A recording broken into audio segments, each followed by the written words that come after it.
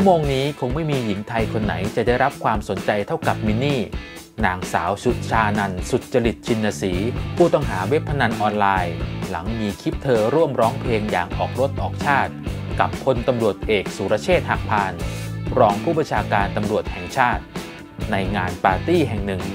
และเธอก็ยอมรับว่าเคยคบหาเชิงชู้สาวกับพี่หนึ่งพันตำรวจเอกภาคภูมิพิสมัย รองผู้บังคับการสืบสวนภูธรภาค 4 มินนี่เป็นสาวหน้าตาดี พูดจาคล่องแคล่วบุคลิกดี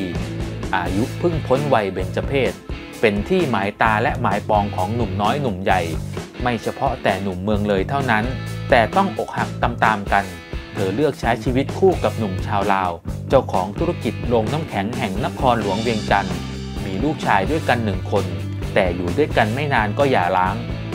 บ้านพักที่อยู่ร่วมกับแม่ของมินนี่ มีพื้นที่กว้างใหญ่มากกว่า 10 ไร่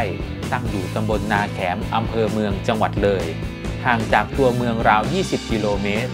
เคยเปิดเป็นร้านกาแฟกลางสวน ช่วงนี้จะสังเกตเห็นว่าภายในไร่แห่งนี้กำลังสร้างเป็นบ้านหลังใหม่ มินนี่เป็นลูกสาวคนสุดท้องของนางชัดดา สมาชิกสภาองค์การบริหารส่วนจังหวัดเลย พ่อได้แยกทางกับแม่ไปนานกว่า 20 ปี เดิมที พ่อเป็นเจ้าของลานมันขนาดใหญ่ในตำบลนาแขม ส่วนแม่มีธุรกิจโรงหีบฝ้ายที่ใหญ่ที่สุดของเมืองเลย เรียกได้ว่าเธอเกิดมาบนกองเงินกองทองก็ไม่ผิดนะล่าสุดแม้มินนี่จะปฏิเสธว่าไม่ได้เป็นเจ้าแม่พนันออนไลน์ หรือสาวน้อยร้อยเว็บพนันตามที่ถูกกล่าวหา แต่สังคมก็มีคำถามว่า ถ้าไม่หากินกับเว็บพนัน แล้วทำไมถึงถูกเจ้าหน้าที่บ้านเมืองจับกลุ่ม